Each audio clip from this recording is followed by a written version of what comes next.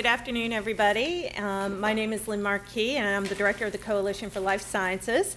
I'd like to welcome you to today's presentation of the Congressional Biomedical Research Caucus.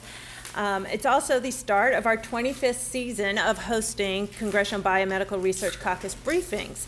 And in a wonderful twist of fate, we got the very first speaker of our very first caucus here to commemorate our 25th, start our 25th year. So Dr. Bargmann was, what, just a postdoc back then, right? so welcome back. Um, I'd also like to thank our co-chairs of the caucus, Representative Steve Stivers from Ohio, Charlie Dent from Pennsylvania, Jackie Speier from California, and Rush Holt from New Jersey. It's due to their commitment and dedication that we are able to host these scientists from across the country and highlight the amazing cutting edge research taking place across the country. Um, as I mentioned, we will be hearing from Dr. Cori Bargmann today. She is of the Rockefeller University in New York City. Dr. Bargmann received her undergraduate degree in biochemistry from the University of Georgia. She received her PhD in 1987 from Massachusetts Institute of Technology, otherwise known as MIT, where she worked under Dr. Robert Weinberg at the Whitehead Institute for Biomedical Research. She pursued a postdoc fellowship with Bob Horvitz, also of MIT, until 1991, where she accepted a faculty position of the university at the University of California, San Francisco. She remained there until 2004 when she joined Rockefeller as the Torsten Wiesel Professor. Dr. Bargmann is also co-director of the Shelby White and Leon Levy Center for Mind, Brain, Behavior, Mind, Brain, and Behavior. She has been an investigator at the Howard Hughes Medical Institute since 1995. Dr. Bargmann is a member of the National Academies of Science, the American Philo Philosophical Society, and the American Academy of Arts and Sciences. She has received numerous awards for her research. Dr. Bargmann is an accomplished neuroscientist who studies C. elegans worms in order to determine the relationship between genes, the nervous system, and behavior which on its own would be a very interesting talk for us to hear. But today, she is here as her role as co-chair of the NIH Working Group, created to establish direction for the BRAIN Initiative. BRAIN standing for Brain Research through Advancing Innovative Neurotechnologies. The initiative was announced by President Obama on April 2, 2013, and it aims to revolutionize our understanding of the human mind and uncover new ways to treat, prevent, and cure brain disorders like Alzheimer's, schizophrenia, autism, epilepsy, and traumatic brain injury. And so with that, it is my pleasure to welcome Dr. Bargmann today. Thank you.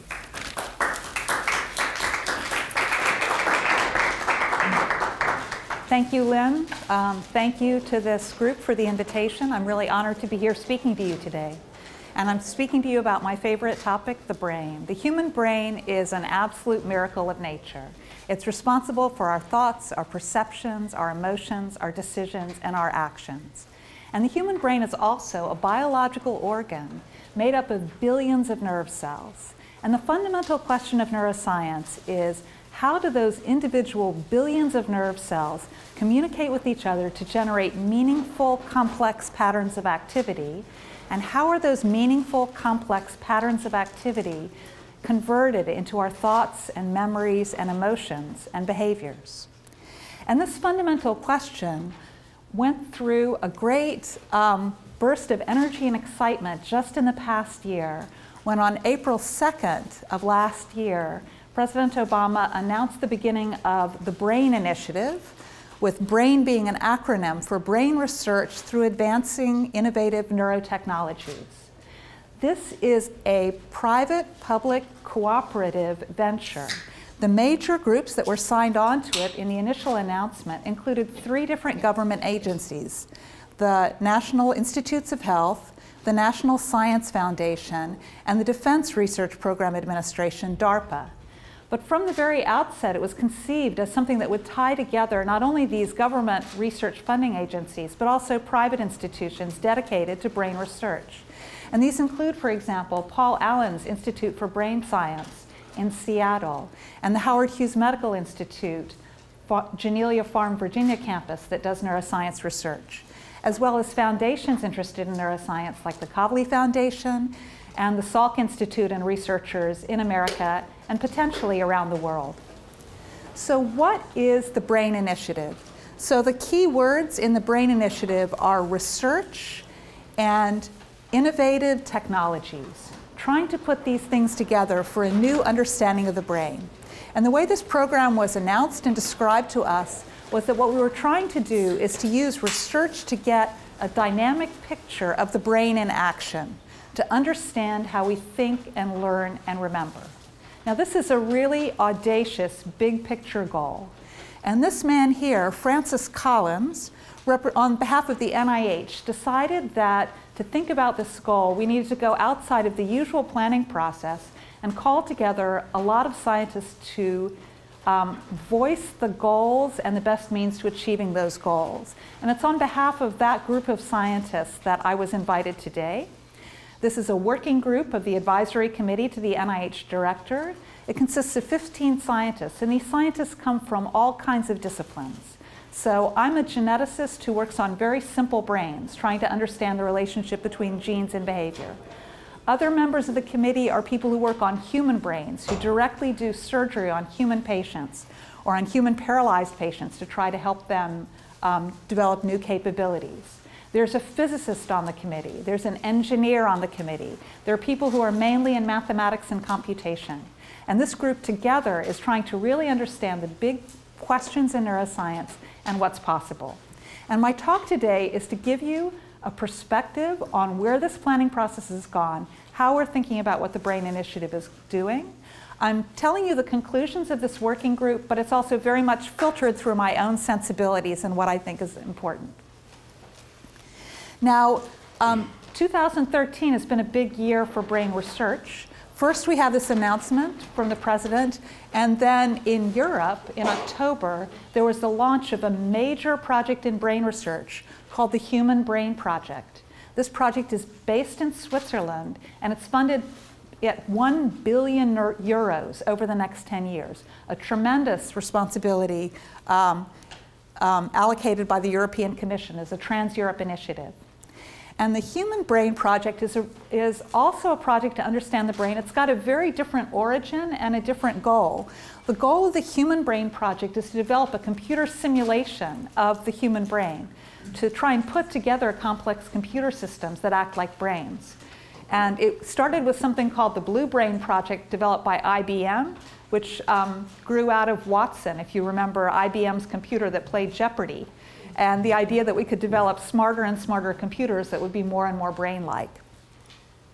So why is this happening? Why is there so much excitement? Why is there so much interest and intensity on neuroscience research in these two different endeavors at this time? So I would like to say that from the point of view of the National Institutes of Health, who I report to, and I think also from the point of view of many people in this room, one of the most important reasons to learn more about the brain is the widespread prominence of brain disorders that really drastically curtail many people's lives. And I have listed here some of the different brain disorders that affect many, many Americans and many people around the world. They come in many different categories. What they all share in common is that they affect the way the brain works and cause people to lead less successful lives than they would otherwise lead. At some time in their life, one out of three Americans is going to suffer a debilitating brain disorder from this list. The people on this list are your parents, your children, your friends. So, for example, if we start with something like Alzheimer's disease, there are currently 5.6 million Americans with Alzheimer's disease. If we look at disorders like schizophrenia, a tragic thought disorder, there are probably about 3 million people in America who suffer from this disease. Um, these tend to be diseases of the elderly, the degenerative disorders, the thought and mood disorders strike people in their teens or their 20s. And th throughout their lives, people are struggling with these disorders, like depression, for example, or schizophrenia.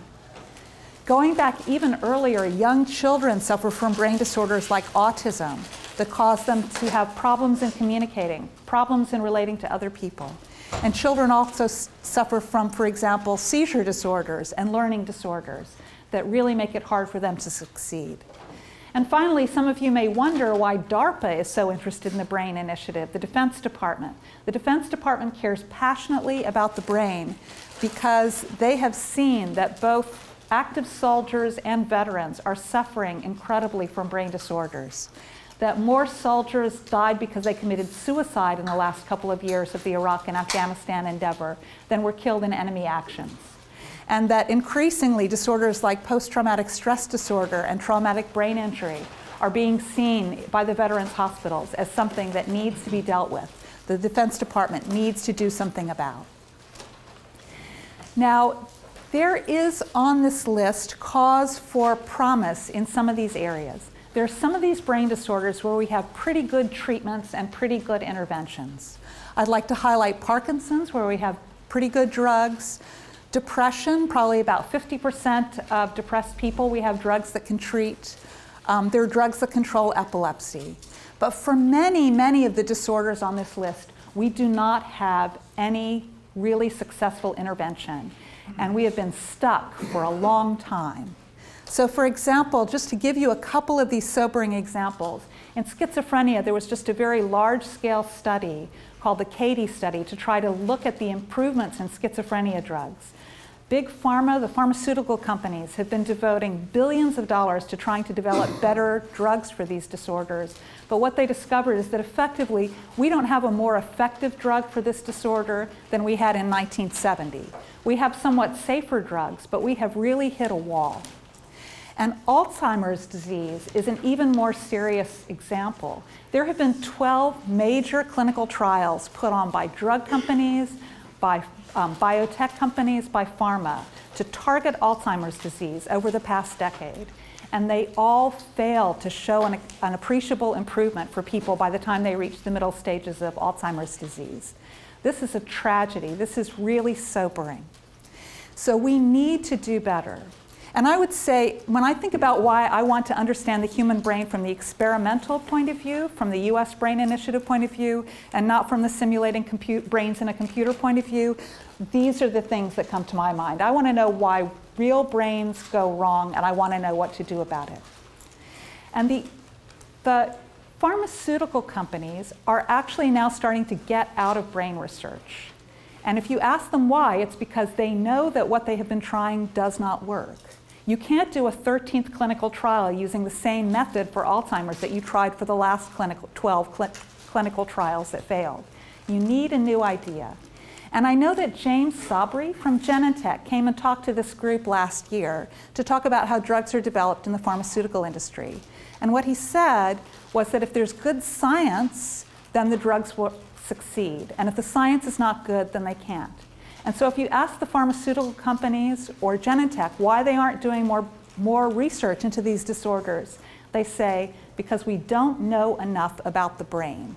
We need to know more about the brain. There are two ways to do that. One is to target each of these disorders individually, and that's a really important part of what the NIH does. But looking at this, looking at the fact that we've hit a wall on so many of these disorders, the alternative is to really try a new idea and a new approach. And that approach is to try to look at the whole brain, to try to really understand how the brain works normally, to cast a very broad net, and to use that as a starting point for later research on specific diseases. So instead of looking for our keys under the lamppost, taking the few clues we have to try and turn on the lights broadly across the brain and see how the brain really works. And in research, that approach has a really great history. And um, Lynn mentioned that I was here in 1990 to talk to you about basic research. And the example that I was talking about then is something that's really relevant to this discussion. So in the 1980s, the US made a decision that the way to study cancer was not to try to study just individual cancers, but to cast a broad net and to understand as much as we could about cell growth and cell division and every possible kind of cancer and to learn whatever we could scientifically. And I, as a graduate student at MIT in Bob Weinberg's lab, was part of that endeavor. And there were people still working on main cancers of, of people, but then there were a lot of people exploring, and I was one of the people exploring on the margins. I was studying a pretty strange cancer of rats, and it's a kind of brain cancer that humans don't even get. But it was really interesting, and it was interesting because in these rats, the immune system could fight off the cancer eventually and cure them. And we wanted to know how could that be possible? So what I did as a student was to find what had happened in those brain cancers, and I found the gene that was changed, and, I, and we realized that the reason that those cancers could be attacked is that that gene was on the surface of the cancer cell. It decorated the cell, so the immune system could find that cancer cell and destroy it. Most genes are inside the cell. The immune system can't see them. So this was a discovery. It helped us understand how those things put together. And that was where I left the field in about 1990. And then um, other researchers took hold of these results and started looking in other areas. So a scientist at UCLA named Dennis Slamon was looking at many, many human cancers. And he said, let's take everything we've learned from all these animal cancers and look at every human cancer we can and see if any of those things are true. And sure enough, the brain cancers in humans don't have this gene changed. It's not important for human brain cancers. But this gene turns out to be affected in certain human breast cancers. And furthermore, it is the most aggressive breast cancers that have changes in this gene, which is called NEU or HER2. And after that, Genentech, James Sabry, who talked to you six months ago, realized that they could put these things together and use the immune system and molecules from the immune system to attack the tumors that have Herceptin changed in them. And they developed an antibody to treat breast cancer based on targeting that same gene that I found in a rat brain cancer that Dennis Slamon then discovered was important in human breast cancers. And there are now millions of women who have been treated with Herceptin. It's one of the first drug therapies developed where we really understood the biology of the tumor, and that led us from the basic science to the human disease to a human drug, to a human therapeutic that's used today. A partnership between basic scientists, medical scientists, and biotech that led to this kind of a discovery. Now, I'm just one tiny piece of that story. There were hundreds of people involved. So the point is not that I'm so great. The point is that this works. The point is that when you cast a broad net and you really try to understand the science, you can make the progress that you need to make for the medicine in partnership with the doctors, in partnership with the engineers and the pharmaceutical companies. And that's what inspires me to be involved in the BRAIN Initiative. So why is this such a hard problem? I mean, we know that it's interesting to understand the brain, and we've known for a long time that those were brain disorders on that list. So the problem is that the brain is incredibly complicated. So there are billions of nerve cells in your brain, each of which has activity that's important. There are more nerve cells in your brain than there are human beings on planet Earth. They are connected to each other typically by about a thousand connections. There are more connections between nerve cells in your brain than there are stars in the Milky Way. This is an unbelievably complex problem to solve. And in the past, we've wanted to study it, but we sort of had two approaches.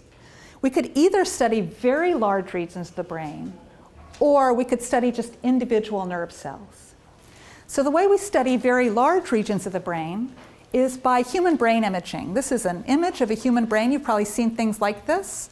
Um, red is when you're showing this person a picture, and blue is when you're playing this person a soundtrack.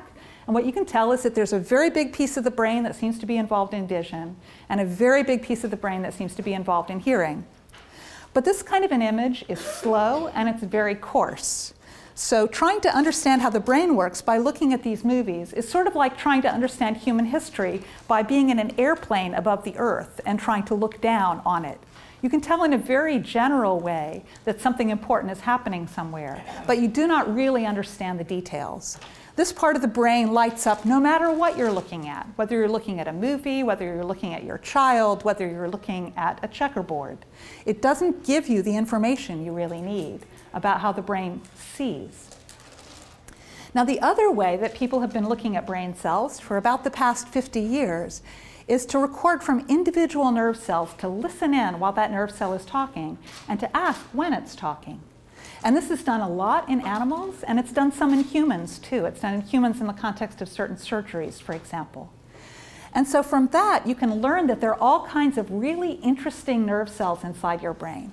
Here's an example of an interesting nerve cell. This graph tells you when that nerve cell starts chattering.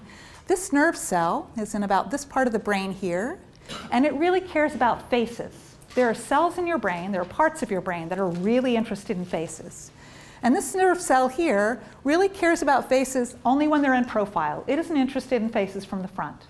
And there are other nerve cells that might be more interested in certain people's faces than in others, or nerve cells that like it when your face has kind of got wide set eyes versus narrow set eyes. These things are really interesting. These are really interesting cells. But it's hard to understand how they generate their properties. How did, this, how did this cell develop this magical property? How did it learn one face from another? And it's very hard to make the connection between these two. So if trying to study the brain this way is like trying to understand a whole planet and all the human beings from an airplane, um, trying to understand this is by, like trying to understand human history by picking out one random person from somewhere in the world and following them around. And then the next day picking another random person from somewhere else in the world. So one day you get um, a farmer in India, and the next day you get someone assembling iPhones in China. And it's going to be very hard to put that together. And the reason it's hard to put that together, the reason I'm using this analogy about the planet and the nerve cells, is that we know that the way things happen in, on a planet is by people working together. That there are groups of people, that you learn things from looking at groups of people doing things together that you don't learn from looking at an individual or looking from a, from a plane.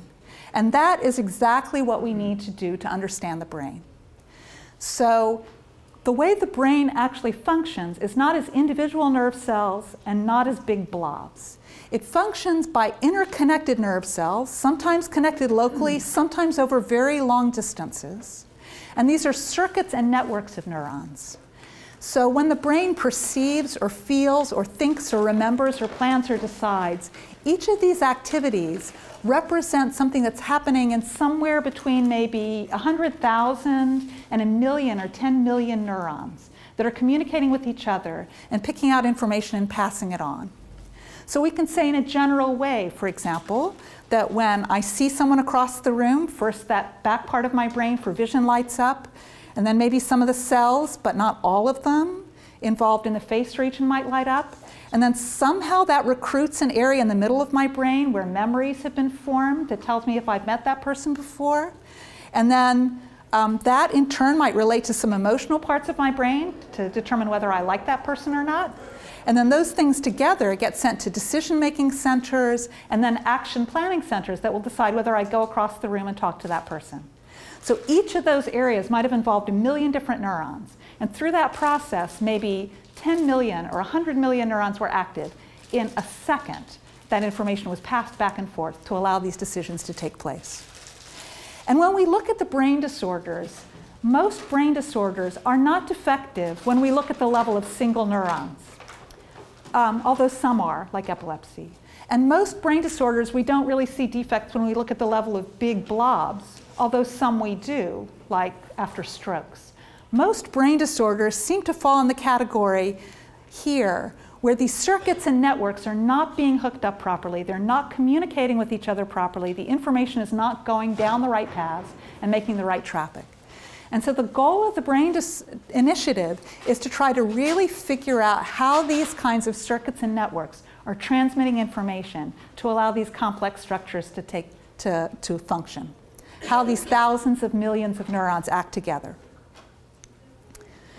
So that brings us to what the NIH Working Group has decided is really the goal of the BRAIN Initiative. It's right now we can't do exactly what we want to do, but we want to be able to develop and apply new technologies so that we can study brains in action, so we can watch that information flow at the level of individual nerve cells to thousands to millions of nerve cells over space and over time. And we really want to study the traffic in the brain, not just the map, not just the big areas. And this is going to be a huge task. And that is why the working group was put together with a variety of different scientists. And we recognize that it's going to require new technologies that currently don't exist. But nonetheless, in the BRAIN Initiative, um, we really feel that this is worth doing and we feel that it's important to do. And I just want to say two things about the BRAIN Initiative that, that are important to emphasize. The first is that the BRAIN Initiative is not going to replace disease-based research. This is not backing off from studying Alzheimer's for itself. These things remain important, and the Brain Initiative is really just a small fraction of all the research that's going to be done on the brain. Currently, it's less than 1% of what NIH alone is spending on neuroscience, on brain disorders. So don't think this is a kidnapping um, important disease research. But the idea is that it's going to be a big picture initiative to try and shed light that all of these other specific diseases can use that we can try and find the important missing pieces that happen at the level of circuits and networks, and we can build tools and infrastructure for understanding healthy and diseased brains. Why now? So these questions, these ideas that I brought up to you, these are not ideas that got thought up on April 1st of last year so that we had an initiative announced on April 2nd. Um, these are, but the, what makes it possible now to think about them is that there have been huge progresses in neuroscience in a couple of different areas just in the past 10 years that make it look as though we might actually be able to solve this problem. We might actually be able to watch brains in action at high resolution with lots of different nerve cells. And these advances have come from many different fields. They've come from neuroscience itself, but they've come from physics and optics, and from genetics, and from computer science. And these areas put together are letting us look now at the brain at the level of thousands of neurons at a time instead of just one neuron at a time. And they're making us see that if we did this, if we kept working for another five or 10 years, we could get to that level of millions that we really want to understand the brain. So I just want to show you a couple of really nice examples of advances that have been made in neuroscience just in the past few years that help us to see that we'll be able to see the brain in more detail. So the first is that there are now new methods for looking at individual nerve cells in action. I'll tell you when, not yet. Okay, so what is this? I'm going to show you a movie of a brain, of a complete brain, where individual nerve cells light up when they become active. They emit a little flash of light when they become active. And so instead of looking at a big blob or at just one nerve cell, you can look across the whole brain of this animal. Now, this animal is a fish, it's not a person, but it's a wonderful fish. It's a transparent fish, so you can look just through its brain in a living fish and see every nerve cell.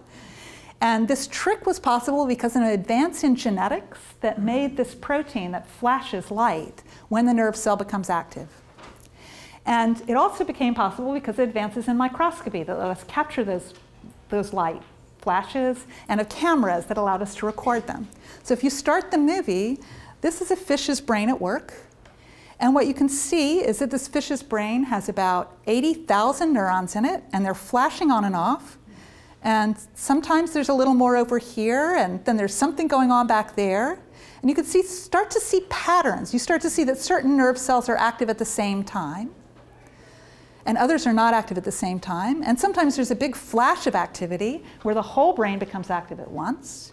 And then it goes back to these more complex distributed patterns of activity. So what do I want to say about this? First thing, um, if we were doing classical human brain imaging the way we do it now, this would be one pixel. The only thing you would have seen in a human brain imaging would have been that one flash of light where everyone went off. But clearly, there's a lot going on at these other times. Second, we can tell that there are patterns here. We could tell that there were groups of neurons. If you look at this for a while, it's sort of like, oh yeah, there's something going back and forth on the left and right over here. And so we can start to bring into focus that question about how do groups of neurons generate a thought or an action, because we can look at the relationships between them. Now this is 80,000 neurons. One of the big goals of the Brain Initiative is to bring this number up, to be able to look at more and more neurons. So this is a fish. Um, there's just been a paper published showing where in a mouse you can look at a thousand neurons. And one of the things that was really cool about that is that they were neurons involved in forming memories, and they were able to watch those neurons for a month before, during, and after this mouse formed a memory.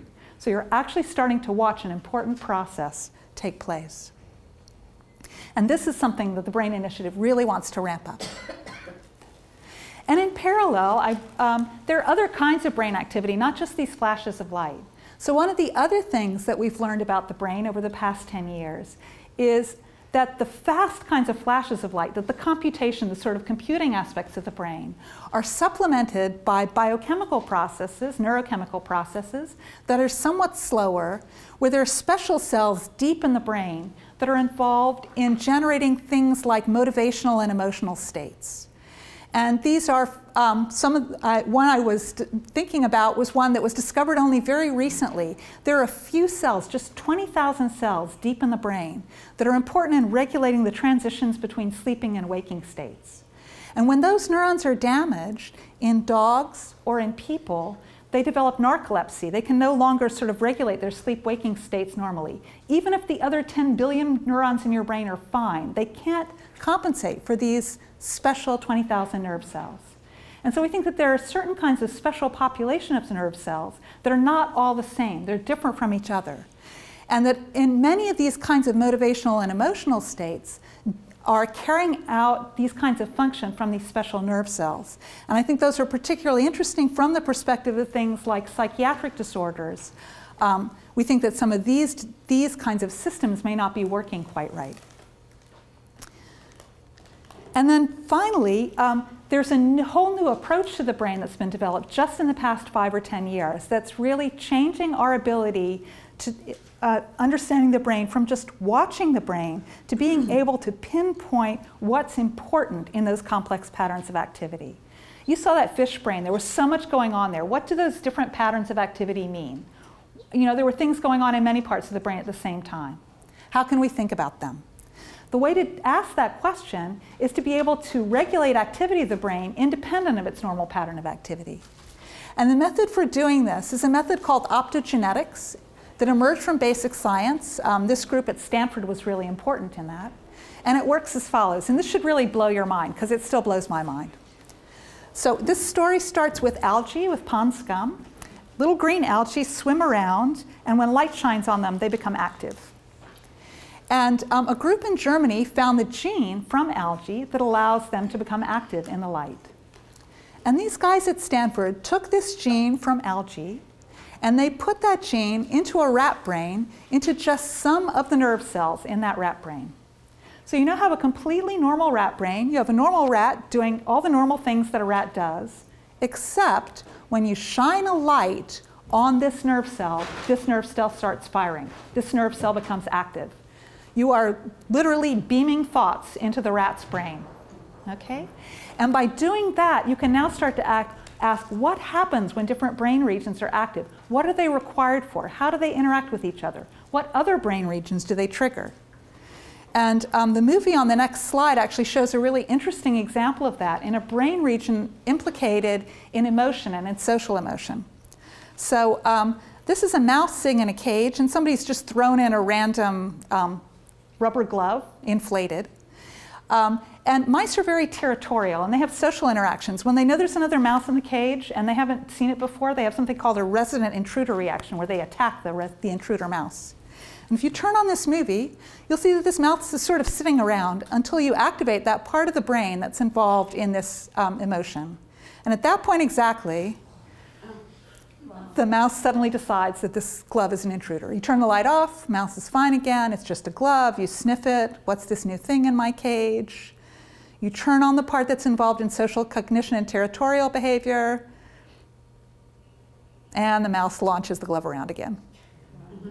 Okay, so this is telling us something really important. This is one of these populations of neurons deep in the brain that seems to have special activity, slower biochemical activity. And so this is the kind of thing we want to understand. We want to understand how these things get put together. So instead of just watching the brain now, we're pointing to different parts of it and saying, that's what this is important to. So these examples were all set up to give you an idea about why the Brain Initiative is focusing on the things it's focusing on. These are our scientific goals. These are the goals that I would explain to another neuroscientist as well as to you. Um, we want to know what the cells are. What are the parts of the brain? We want to know how they're connected together, locally and at long range, what their physical connections are. And we also want to know when they're active, what their electrical and biochemical connections are. We want to be able to understand how functions emerge from that, which we can do by perturbing and looking at behavior, And we're going to need theory and understanding. We're going to need big data and bioinformatics to understand those incredibly complex systems. So this is a goal. The goal is discovery and insight, foundational circuit principles, but also circuits relevant to human brain function and disease. And I'd like to close this talk by just telling you um, a few reasons for thinking that this idea of studying circuits could really be a valuable thing for the country to invest in and could lead to benefits that we can start to see and would continue to see in the future. So the first is I think that there is real reason for hope because we are already seeing the development of some treatments for some human brain disorders that are built around our understanding of the circuits. We're starting to see that. And a really dramatic and beautiful example is a method called deep brain stimulation that is used to treat Parkinson's disease. So Parkinson's disease, as many of you know, will happens because the set of neurons deep within the brain that make dopamine first stop working properly and then die. And so this leads to first trembling, then an inability to generate movement, all kinds of motivational and psychiatric disorders as well a scientist named Mahlon DeLong decided to study, a, just from a basic science perspective, the circuits that these dopamine neurons were embedded in. And he ended up with a diagram that looks like this, and it should look confusing because it is confusing. There's lots of different arrows going back and forth, lots of loops of returning information. But really, conceptually, what Mahlon DeLong found was that these circuits represented two different systems for movement regulation that were in balance with each other, that had to be in balance with each other. And that, for example, this region would stimulate movements, and this neuron was balanced, that it inhibited it. And when these neurons started to die, this region became much too active. It was way out of balance. And building from that inspiration, um, a surgeon named Benabid in France took an electrode and inserted it into the brain of Parkinson's patients, into this little yellow region here. It's a tiny region, it's a millimeter across, and shut down the activity of these neurons. And now, instead of being out of balance, the two systems come back into balance again. And even though there are fewer dopamine neurons and they weren't cured, the brain can operate normally because this other antagonistic system has been quieted down to help the brain function normally. This, um, it's basically a pacemaker for the brain. It's been used in about 100,000 patients worldwide. It can have incredibly dramatic effects where you turn on the electrode and people get up and walk out of the, their wheelchair. Now, it's not a cure. It only lasts for a certain amount of time. It does require a few of these neurons to still be working. But in terms of really saying circuit-based treatments might be able to do something for brain disorders, I think you know, it doesn't get much better than this in terms of telling us that understanding the circuits can help us to understand and make progress in medicine. And that the basic science, the most basic, basic science about how movements were controlled in monkeys, led us to a way of treating a human brain disorder. Second thing to think about, I think that whenever in science we've really learned something fundamentally new and important, it's led to technologies as well. And medical technologies are important, but I just want to point out that another reason to invest in the brain is that new technologies are being invented now based on what we know about the brain, and there will be more new technologies to come. So I don't know how many of you are on Facebook. I'm on Facebook. And about two years ago on Facebook, Facebook suddenly got really good at recognizing your friends' faces. When you scanned in a picture after a party, it would suddenly start saying, is this Geoff Hinton? And you'd be like, yes, this is Geoff Hinton. Okay? So how did Facebook know that? So it turns out that this guy, Geoff Hinton, is a computational neuroscientist from Toronto. And he was he knew a lot about how the brain processes visual information. And within your brain, there's a part of your brain in the cortex that divides visual information into these really funny looking blobs. So instead of looking at just one pixel, it sort of looks at a blob. It looks for a bright area next to two dark areas and things like that. I mean, I'm kind of astonished that my brain has cells that care about things like this, but they do. And um, what Geoff did was in, he asked a computer to try to divide up a visual image using these kinds of designs that your brain uses to divide up a visual image. And then he developed a method called deep learning based on how the brain assembles information. And that computer method is what allowed Facebook to make these huge advances in face recognition. And similar advances are happening now in speech recognition. So our computers are getting better because we are teaching them to act more like our brains.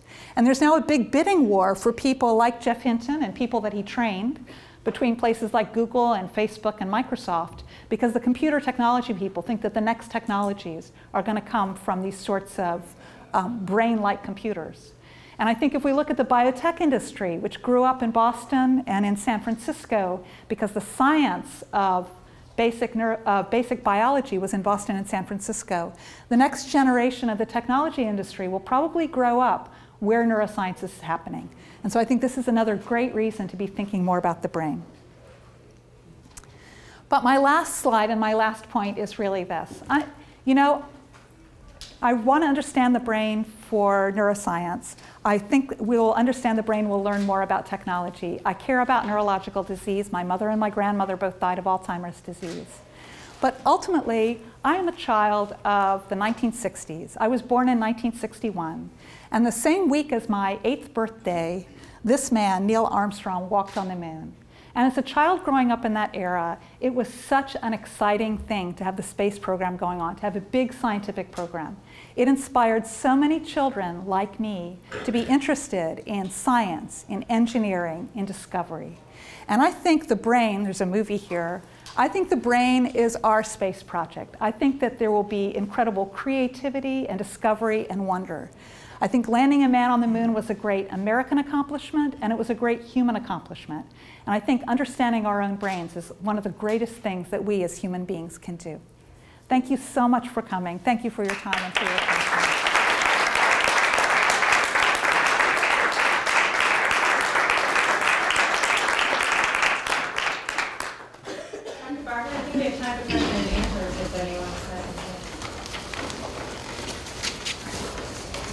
I found this just fascinating. Uh, this whole project to understand the brain. And uh, my first introduction was when my son was a student at NYU, trying to put computers together to mimic the human brain and working, and getting the degree in neuroscience. But I, am now involved in the world of environmental health, and we're very concerned about how environmental exposures sometimes in utero can affect the function of the brain and what you're doing will give us answers to some of those questions. You know, it's not either or.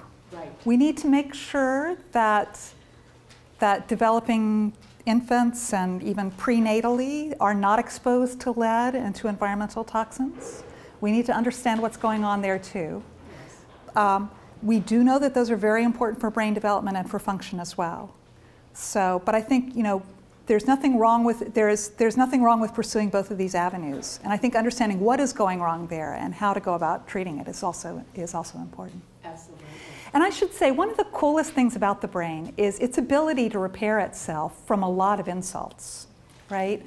Um, so there are a lot of things that can go wrong early in development that the brain will try to repair itself from and sometimes if you if you know more about how it's supposed to work you can help it along those paths and i think that's something else that that knowing more about what the brain is doing could help us to do. Yeah. I need you to look into the, well, first off, excellent talk. I need you to look into the future a little bit um, for me. So um, a part of what we're trying to do is map the uh, activity of the brain and things like that. And you spoke on how drug companies have now started to shy away from brain research.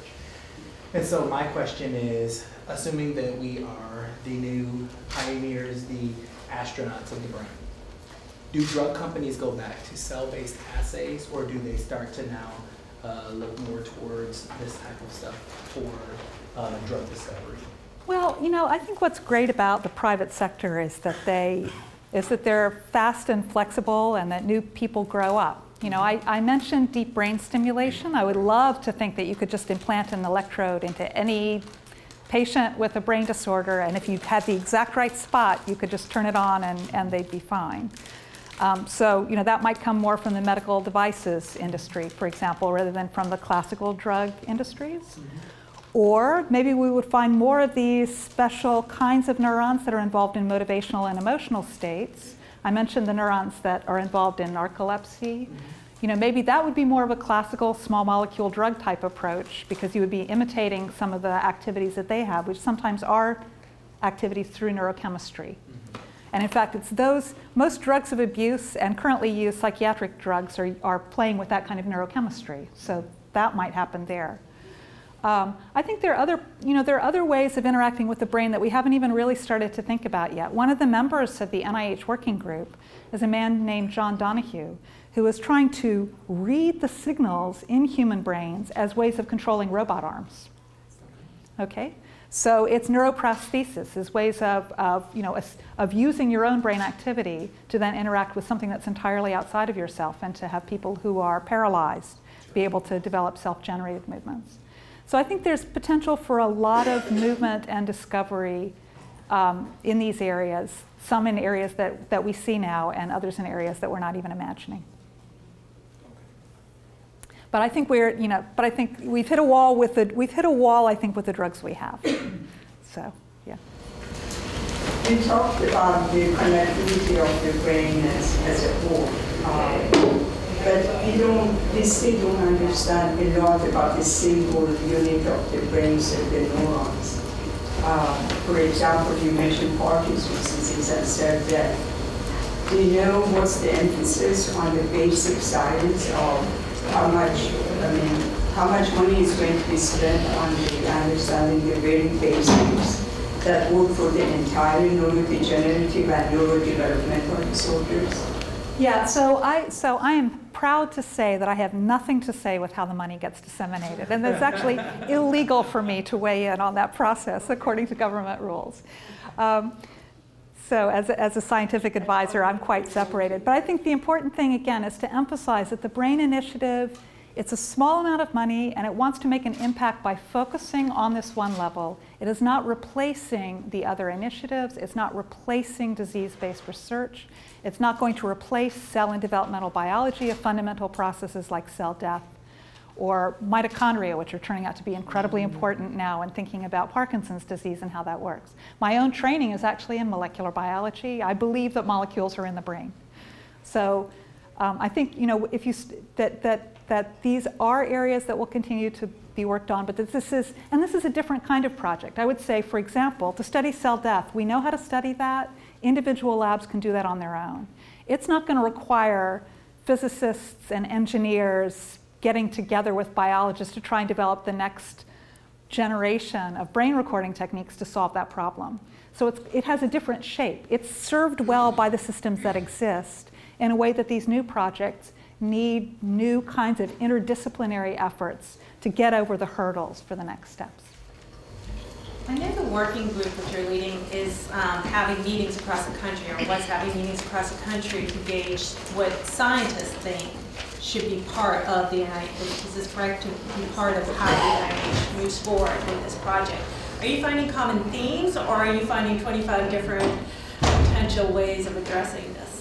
Um, I would say that we got some pretty clear messages. We had meetings across the country and we put out an interim report in the fall and then we ducked um, and nobody threw anything at us, which was really a surprise. I mean, so but people did throw us a few pretty clear questions. So one question that was really important is, um, you know, where is the money going to come from? Is this coming out of other areas of science? Is this, you know, are you going to start sacrificing other areas like disease-based research?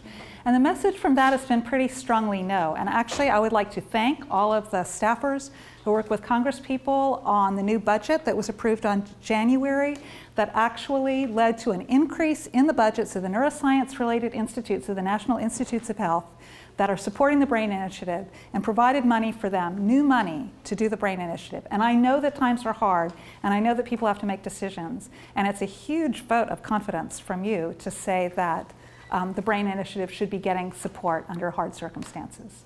So that's, the, that's one question is like, are you going to are you gonna gut the rest of neuroscience research to do this? And I think the answer is no. Frankly, I wouldn't be involved if, if that was it, if that was the goal. Um, another question is, um, you can't possibly do this in one year, right? And you know, the answer to that is definitely not. And I think the NIH is trying to think about what it would take to do a larger project and how, you know, what are the good ideas? How would they really do it? How would you continue this out? And that's actually what we're thinking about now, the working group, before our final report.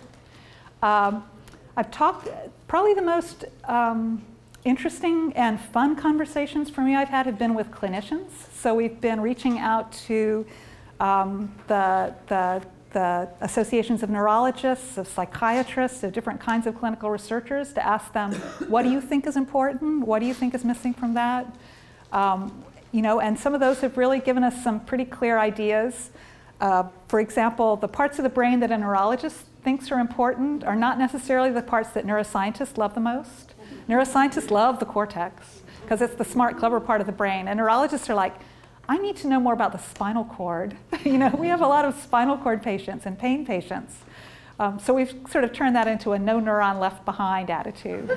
we really want to understand the whole brain. You know, so there've been so there've been some good, so so refinement, feedback, other forms of expertise are definitely improving the product. And when's the final product? Um, we're handing it in on June 6th, so it's reporting to, to Francis Collins. We're, our report is due to him then.